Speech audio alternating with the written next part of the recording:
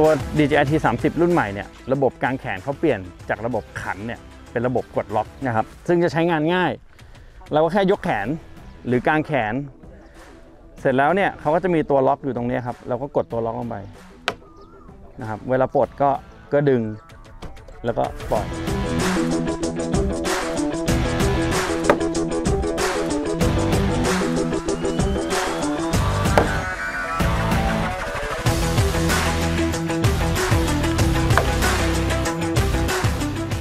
แบตเตอรี่เสริมก้อนนี้นะครับเราจะใส่ทางด้านหลัง วิธีลักษณะการใช้งานแบตเตอรี่ของเขาคือเขาจะใช้แบตเตอรี่เสริมก้อนนี้ก่อน จนหมดพอหมดปุ๊บเขาจะย้ายมาใช้ก้อนที่อยู่ที่ด้าม แล้วเขาจะเตือนหน้าจอว่าแบตเตอรี่ก้อนนี้หมดนะเอาออกไปชาร์จด้วย เราก็เปิด กดปุ่มด้านล่าง เอาแบตเตอรี่ก้อนนี้ออกไปชาร์จ ระหว่างที่ชาร์จเขาก็จะใช้ที่ด้ามนะครับ พอก้อนนี้ชาร์จเสร็จแล้วก็ใส่กลับเข้าไปเขาก็จะกลับมาใช้ก้อนนี้อีก 3 ชั่วโมง ก้อนนี้หมดเราก็กดปุ่มตรงนี้ แล้วก็ดันลง แล้วก็แบตเตอรี่ก้อนนี้เอาออกไปชาร์จ อีก 1 ชั่วโมงเขาจะกลับมาใช้ก้อนนี้ 1 ชั่วโมง แล้วพอก้อนนี้เต็มแล้วก็เสียบกลับเข้าไปอีกเนี่ยมันก็จะใช้งานได้ต่อเนื่อง ก็ใช้งานได้ต่อเนื่องทั้งวันทั้งคืนเหมือนกันนะถ้าถ้าเราหมั่นชาร์จ แต่ว่าลูกค้าส่วนใหญ่ก็จะสั่งแบตเตอรี่ก้อนเนี้ยมาเสริมอีกก้อนหนึ่งถ้างานเริ่มเยอะเขาจะสั่งแบตเตอรี่ก้อนหลัง เพราะว่าแท่นชาร์จเนี่ยมันสามารถชาร์จได้ 2 ก้อน สามารถชาร์จได้ 2 ก้อน ก็เอาก้อนนี้เสียบก้อนนี้เสียบแล้วก็ชาร์จก่อนมาทำงาน เพราะฉะนั้น 3 ชั่วโมง 3 ชั่วโมง 6 ชั่วโมงแล้วอันนี้อีก 3 ชั่วโมงเป็น 9 ชั่วโมง ก็ใช้งานได้ต่อเนื่องเลยครับ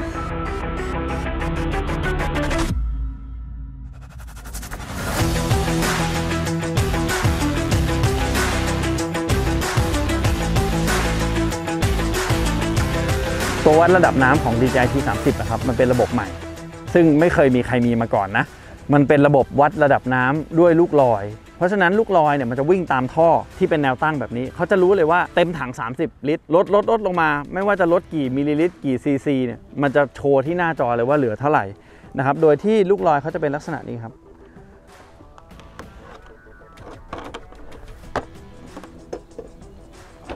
นี่คือลูกลอยครับ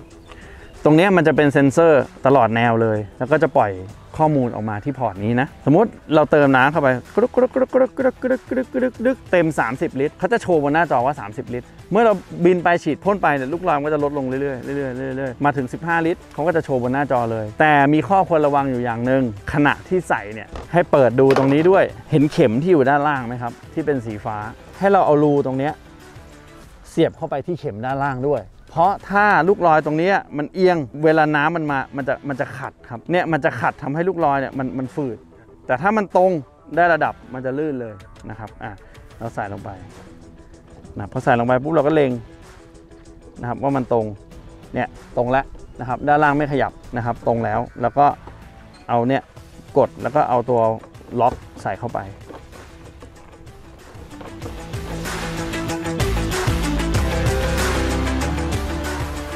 ขั้นตอนต่อไปนะครับ เราจะวาดแปลง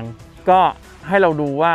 เราจะวาดตรงไหน เราไม่จำเป็นต้องเดินให้มันไปอยู่ที่ขอบก็ได้ครับ อยู่ตรงเข้ามาหน่อยก็ได้นะครับ ประมาณประมาณตรงตรงชันๆนี้ก็ได้ครับอะอะจิ้มเลยครับ โดยจิ้มเพิ่มจุดเพิ่มเวพอยต์สำเร็จอะแล้วเขาจะบอกว่าเพิ่มเวฟไฟสำเร็จแล้วเพราะฉะนั้นตรงนี้เขาจิ้มจุดแหละจึ๊บนะครับอะเดี๋ยวเราเวฟไฟต่อไปเราไปตรงปลายนู่นนะ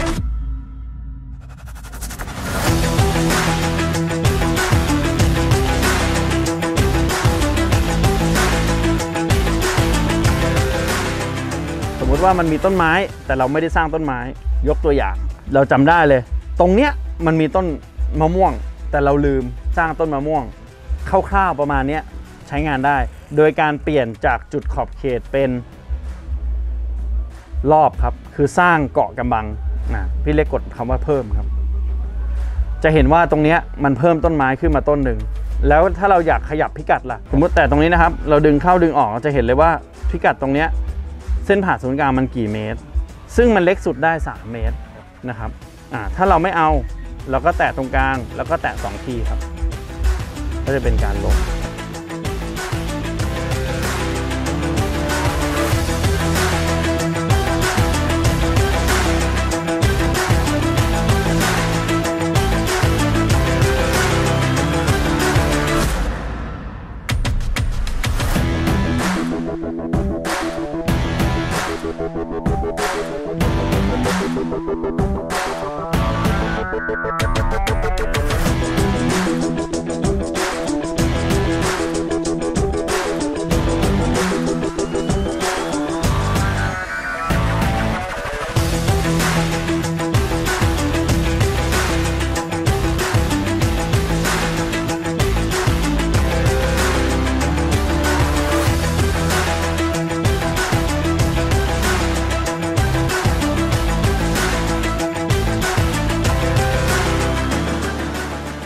อันนี้เป็นเครื่องปั่นไฟของ DJI นะครับ รุ่น D 9000i นะ รุ่น D 9000i ก็คือ 9,000 วัตต์นะครับ ซึ่งเครื่องชาร์จอะ มันใช้แค่ 7,000 แต่ว่าเขาเผื่อวัตต์ของตัวเครื่องปั่นไว้ที่ 9,000 เป็นเบนซิน จะเห็นว่าตรงนี้เป็น E0 กับ E10 E0 กับ E10 ห้ามใช้ E85 นะครับ ก็คือ 91 ได้ 95 ได้นะแก๊สโซฮอล์ได้นะครับ ตัวเนี้ยจุ 25 ลิตร ใช้ได้ทั้งวันอะนะครับ ยาวเลยนะ โอเค เดี๋ยวเราจะมาเติมน้ำมันกันก่อน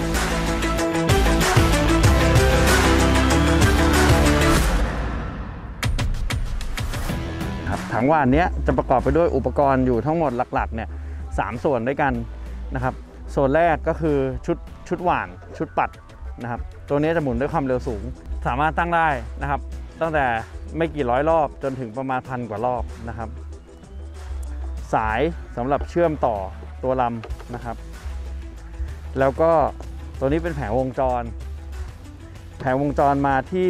อุปกรณ์ด้านข้าง ตรงนี้คือตัวชั่งน้ำหนัก ตัวชั่งน้ำหนักปุ๋ย หรือเมล็ดพันธุ์ที่อยู่ในถังนะครับเดี๋ยวเราจะทำการถอดถังพ่นออกก่อน แล้วก็จะเอาถังหวานเนี่ยใส่เข้าไปนะครับมาครับ นี่คือกรองน้ำนะครับก่อนเข้าปั๊ม จะมีโอลิงตรงนี้ เฮ้ยรุ่นใหม่มีบ่าแล้วนะครับจะเห็นว่าตรงนี้มีบ่าแล้ว โดยปกติแล้วเนี่ยเวลาเราดึงกองออกเนี่ยบ่าตรงเนี้ยมันจะหลุด ตัวถังนะ สามารถยกได้เลยโดยเอามือใส่เข้าในช่องนี้ด้านสองข้างนะแล้วก็กระชากเข้าหาตัวออกแล้วนะครับอะต่อไปนะดูก่อนอะด้านนี้อยู่ด้านหน้า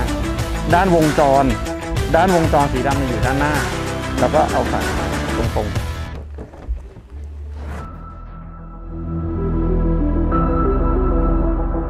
เหลือขั้นตอนสุดท้ายครับ คือเราจะต้องทำการสอบเทียบถังว่านก่อนที่จะใส่ปุ๋ยเข้าไป เพื่อที่จะให้เขารู้ว่า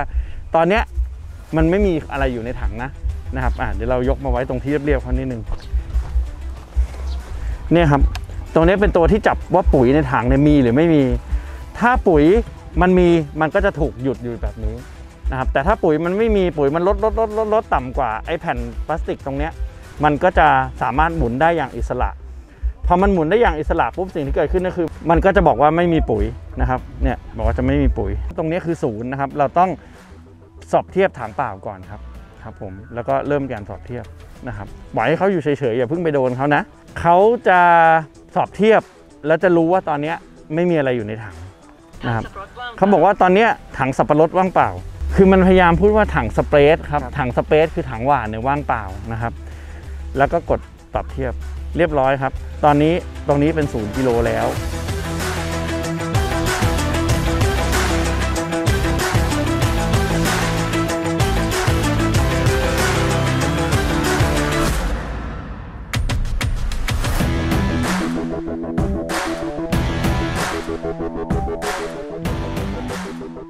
สวัสดีครับ ชื่อเล็กทิชาพันธ์สีเผือกครับ ค่ะ สวัสดีค่ะ ชื่อราตรีพันธ์ไพค่ะ ชื่อแอดค่ะ ปัจจุบันก็ที่บ้านทำนาเป็นอาชีพหลัก แล้วก็ส่วนตัวรับราชการค่ะ ของผมก็ทำเฟอร์นิเจอร์ครับ ก็ประกอบเฟอร์นิเจอร์ด้วยแล้วก็ช่วยทำนาด้วยครับ ที่สนใจโดนพ่นยาก็เพราะว่าตอนนี้นะครับ คนที่เขารับจ้างพ่นนะครับ ตอนนี้ก็เขาก็อายุมากขึ้นแล้วก็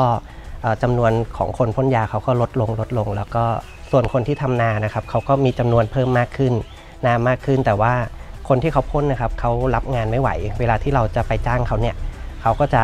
เลื่อนคิวเราไปเรื่อยๆเรื่อยๆมันก็จะไม่ได้ตรงตามวันที่เราต้องการก็เลยเออมองหา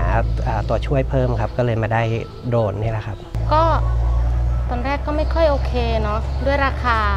แต่ว่าก็ก็ต้องลองดูประสิทธิภาพวันนี้ดูทดลองใช้ก็คิดว่าน่าจะได้ประโยชน์ น่าจะสนองตอบความต้องการ ของเกษตรกรแล้วก็ของที่บ้านได้ได้ดีค่ะ หลังจากที่ทดลองแล้วรู้สึกว่าใช้งานง่ายครับ แล้วก็มีความฟุ้งกระจายนะครับ ในส่วนของการพ่นยาแล้วก็หวานเนี่ยมันก็กระจายเร็วแล้วก็เอ่อใช้เวลาไม่นานครับแป๊บเดียวก็เสร็จครับน่าจะประหยัดเวลาเนาะประหยัดเวลาได้เยอะการบังคับก็ค่อนข้างง่ายครับ สามารถที่จะใช้เวลาไม่นานในการเรียนรู้ครับ เพราะว่ามีเดินหน้าถอยหลังหันซ้ายหันขวา แล้วก็ปรับความสูง แล้วก็ที่เหลือนะครับก็จะเป็นการตั้งค่าก่อนหน้าที่เราจะบินด้วยซ้ำครับ เราก็จะสามารถที่จะระบุไปได้เลย มันก็จะทำให้เราไม่ไม่งงด้วยครับตรงนี้ ก็ฝากไว้นะคะสำหรับอ่าบริการ ก็ในอนาคตอันใกล้นี้แหละค่ะ ก็คงจะอาจจะมีบริการรับฉีดพ่นยาวันข้าววันปุ๋ยให้กับพี่น้องเกษตรกรในละแวกใกล้เคียงนะคะ ก็ราคากันเอง คุณภาพก็รับรองคุณภาพนะคะ ก็รับรองความพอใจยังไงก็ฝากฝากติดตามกันด้วยกันละกันนะคะ ก็จะเป็นเอ่อเบอร์ 0642365355 เล็กนะครับ ค่ะหรือไม่ก็โทรเบอร์แอดก็ได้เนาะได้ 0925909835 ค่ะ ได้ค่ะ ได้ทั้งสองเบอร์ค่ะสำหรับพื้นที่รับบริการนะคะ ก็รับในบริเวณอำเภอพนมทวนและพื้นที่ใกล้เคียงนะคะ ก็โดยเฉพาะในเขตตำบลรังหวายของเราก็ รับทั้งตำบลค่ะได้ได้หมดเลยนะคะ ท่านใดที่จะใช้บริการก็ไว้วางใจก็ติดต่อได้ค่ะขอบคุณครับค่ะ